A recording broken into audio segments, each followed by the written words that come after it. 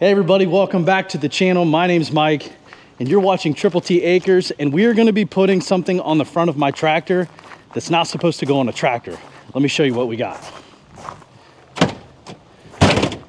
This is a skid steer post hole digger or hydraulic auger that's supposed to go on a skid steer that has a much higher gallons per minute flow rate.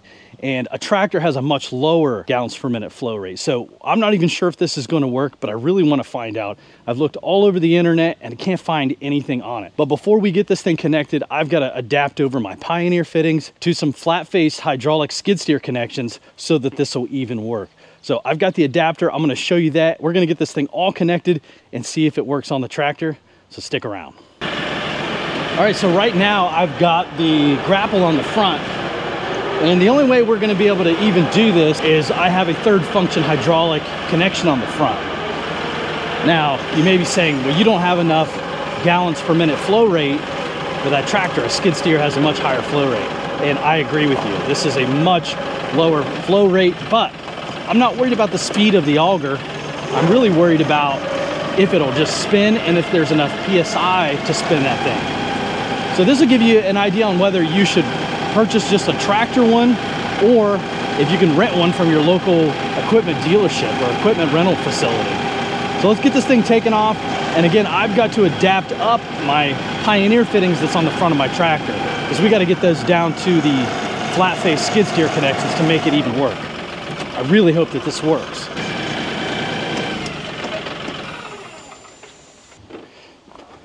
Now this is gonna work obviously if you have a skid steer quick attach on the front of your tractor. Luckily LS comes with that pretty standard and most tractors are coming standard with the skid steer quick attach. Now you John Deere guys, I think you're out of luck with this. You might be able to rent a auger that's John Deere connections. Now the specs on this skid steer auger, I'm not sure what the minimum flow rate is on it. Again, I'm not too worried about that. I just really needed to, just need to spin and actually dig. But the weight of this thing is 800 pounds. And with this LS tractor, my lift capacity is around 2,100 and some change at the pins. So I should be okay with lifting this.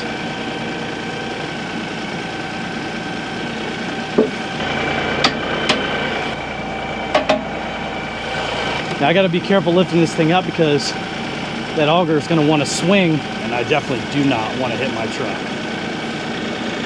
Yeah, we have no problem lifting this thing up at all. Yeah, height was my other concern. But it looks like we're gonna be okay as far as height. All right, let's go get these fittings adapted back to the flat face. All right, so if you wanna connect these, you definitely need to adapt up to a flat face fitting. And what I have here, and this is just one of the sides, is I have a Pioneer fitting on this side and a flat face on this side. That's the only way you can get these two connected. So I'm gonna get this connected and then we're gonna see if this thing works.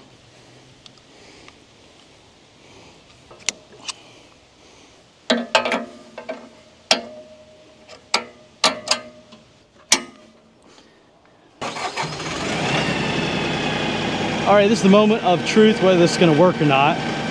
And I haven't even done this yet. This is gonna be the first time. We're both gonna do this together. And I did wanna mention that if you wanna get these fittings for your tractor, I'll put a link down in the description because I got these off Amazon and they seem pretty nice. Man, I hope it works. All right, moment of truth. Let's idle up, give us some flow here. So I know it'll spin now, people told me that it would not spin very fast. To me, that spins plenty. Now, I haven't dug in a hole yet. We're gonna go over here in just a second and give it a test hole. But that looks like plenty fast enough. Obviously, we're gonna see here in a second. And the main reason why I even did this is because I had a friend reach out to me recently and he's getting ready to put a fence in. And he said, hey man, can you give me a hand? And I said, yeah, I borrow a three point post hole digger for the back of my tractor and give it a try. And then I started thinking, I'm like, man, why not see if a skid steer quick attach will work? Uh, I didn't feel like going out and purchasing a, a tractor version of this. Um, and I always wanted to know anyway. So luckily a friend of mine owns this. Thank you very much. You know who you are who loaned this to me. uh, hopefully this will work. We're gonna go do a test hole right now.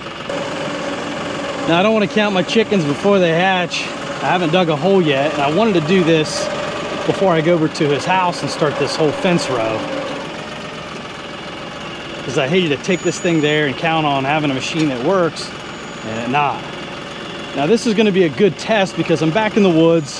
It hasn't rained in a long time. The ground should be really, really solid. The benefits of being able to put this on the front of my tractor is the down pressure. If you use a three point post hole digger, it only uses the gravity on the back of it. So the weight of the auger itself. This I'm able to actually put a little bit of down pressure, especially when I have some really hard soil. Another thing is, is you can actually screw those things down in the ground and then you have to lift them out. Sometimes your tractor's not strong enough to pull them out of the ground. With these front mounted hydraulics, I can go in either direction with that auger. So I can actually back it out of the hole if I have to. So let's throttle up here. Let's see if we can dig in the ground. I might get into some roots. I might get into some rocks. Another thing is I don't have to break my neck turning around to see if I can even see what I'm doing for the most part I can see what's going on in front of me.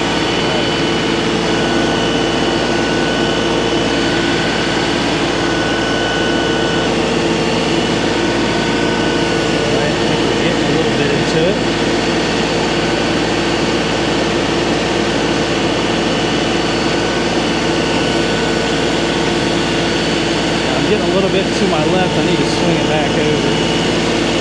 There we go.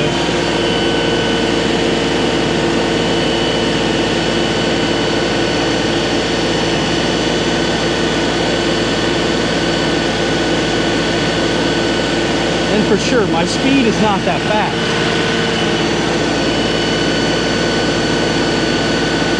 Looks like we're digging. This is really, really hard ground.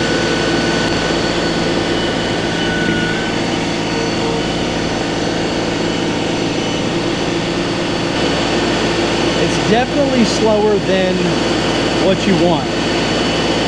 But I'm going in the ground. And I've got down pressure like I said, this is really, really hard soil.